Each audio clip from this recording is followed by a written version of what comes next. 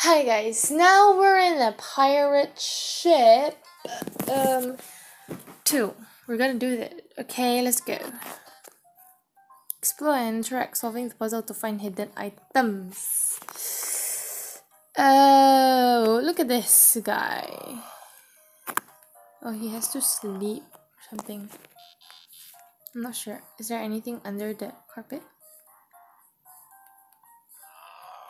Here, I'm going to show you a gold coin. Do you want one? No. Well, that's what I needed.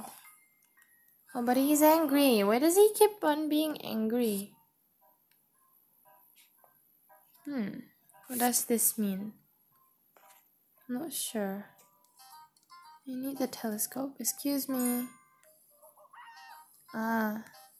Hello, monkey. Hello, monkey. Hello, monkey. Excuse me, monkey. Slide to expand the map on the wall. Oh, there's something I need. Okay, over there. And now the monkey. Click the telescope after getting it. Slide to open the pirate flag with one finger and use another hand to. Okay, I was in the right. Okay. Now he is angry. Oh no, that's good actually. Now we can take another thing. And then, okay, I did this. And then I have to shoot this to where? Ah, ha ha ha ha ha. Ah, ha ha ha ha. Why did the octopus die? Eh? okay. Then now I need a gold tooth.